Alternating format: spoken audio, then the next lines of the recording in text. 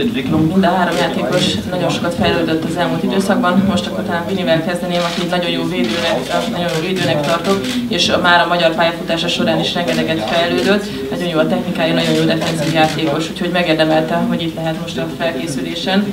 És annak is nagyon örülök, hogy Magyarországgal ennyire jól tudott azonosulni, a családja is nagyon jól érzi magát itt, és épp ezért szeretne valamit visszaadni az országnak. Ezért vette fel most a magyar állampolgárságot, és úgy gondolom, hogy ő tényleg teljes szívével velünk tud lenni, és hogyha úgy döntünk, hogy ő is velünk jön majd Portugáliába, akkor biztos, hogy számíthatunk erre ott is.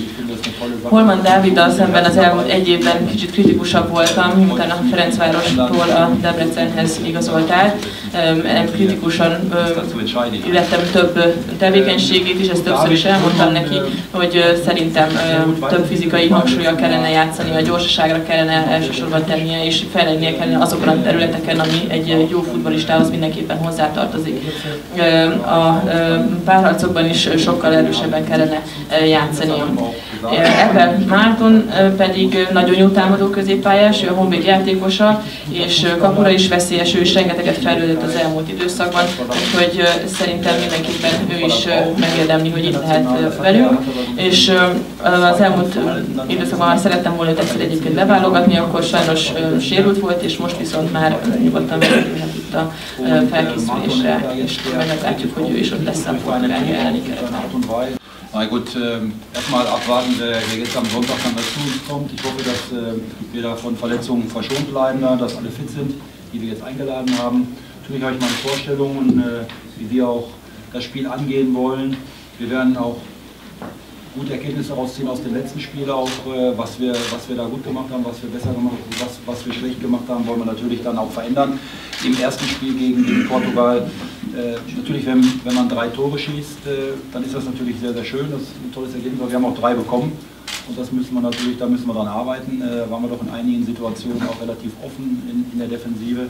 Da müssen wir mehr Kompaktheit haben, ähm, gerade, auswärts. Die Portugiesen für die, die müssen uns schlagen auch. Ja, wir wissen auch, dass wir, dass wir gewinnen wollen und gewinnen müssen, um uns eine Chance noch weiter zu eröffnen, dann äh, auch dabei zu bleiben äh, in der, in der WM-Qualifikation. Deswegen werden wir uns auch nicht verstecken. Ja, wir werden auch versuchen, nach vorne zu spielen, mutig zu sein, Selbstbewusstsein zu haben und äh, das auch dann umzusetzen, das, was wir auch können. Die Mannschaft hat äh, viel dazugelernt in den letzten Jahren oder in den letzten anderthalb Jahren, wo ich jetzt hier Cheftrainer bin und das müssen wir auch mal wieder zeigen. Ja, das ist natürlich immer nicht ganz so einfach in der Mannschaft fünf Tage zu arbeiten nur. Ja, man hat nicht so viel Zeit. Jetzt nach über vier Monaten, fast vier Monate ist jetzt schon wieder her, seit die Mannschaft hier in Telki war, in den letzten Spielen gegen Andorra und Schweden. Aber gut, das wissen wir. Es gibt keinen Jammern. Es gibt nur positiv und intensiv jetzt die Trainingseinheiten dann sehen diese Woche und dann nächste Woche die Mannschaft vorzubereiten auf Portugal. Das ist dann das Hauptaugenmerk. Először várjuk ki, hogy vasárnap még kicsatlakozik hozzánk. Abban reménykedem, hogy minden játékos fitten tud csatlakozni, és megúszuk a sérüléseket.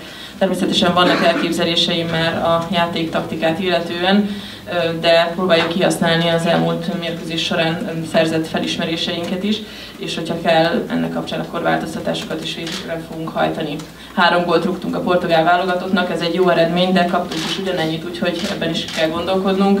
Így elég nyitottak voltunk egy-egy helyen, a defenzív játékunk nem volt ilyen szempontból elég kompakt, ezen javítanunk kell, és kifelé is erősekre kell lennünk. Azt is tudjuk, hogy Portugália is meg akar majd verni mindenkit, minket, illetve tudják azt, hogy ha mi megverjük őket, akkor nekünk is továbbra is esélyünk marad a világbajnokságra kijutni, úgyhogy mi ezt szeretnénk elérni, és bátran szeretnénk játszani, mindazt a tudást kihasználva, amit az elmúlt időszakban sikerült megszereznünk. Nagyon sokat tanult a válogatott az elmúlt időszakban, és én is láttam a fejlődést már a másfél év alatt, amit itt töltöttem velük együtt. Persze nem könnyű mindig úgy edzeni, hogy öt nap jut együtt a közös munkára, és mint említettem, négy hónapja nem találkozott most már itt elkében a válogatott, mióta Andorra és Svédország ellen játszottunk, de nem szeretnénk panaszkodni, hanem arra koncentrálunk, hogy intenzíven felkészüljünk, hogy a Portugál ellen elleni mérkőzésre. Azért olyan sok mérkőzést még nem láttunk, de annak örülök, hogy a fiatal játékosok nagyon sok időt töltenek a pályán itt Magyarországon. Ez talán kevésbé igaz így a top csapatokra, de az alsó mindenképpen, illetve a kevésbé sikeres csapatoknál is. De mindenkiből látom azt, hogy jó úton haladunk, egyre többet tesznek a fiatalokra, több súlyt hangsúlyt rájuk, és az MB2-ben is nagyon sokan kerülnek a pályára az 19-ből, akik most egyébként itt lesznek velünk Telkiben és az 17 is. Úgyhogy én szerintem ez egy nagyon jó dolog, hogy a fiatal játékosok is láthatják, hogy milyen a válogatottal együtt dolgozni, hogy mindannyian egy család vagyunk, és hogy nekik is ez legyen a céljuk, hogy ebbe a válogatottba bekerülhessenek. Fontos, hogy azért eljussunk egy adott szintre, ami már a nemzetközi összehasonlításban sok területen megvan, van, amivel elégedettek lehetünk, de van, amivel még azért nem.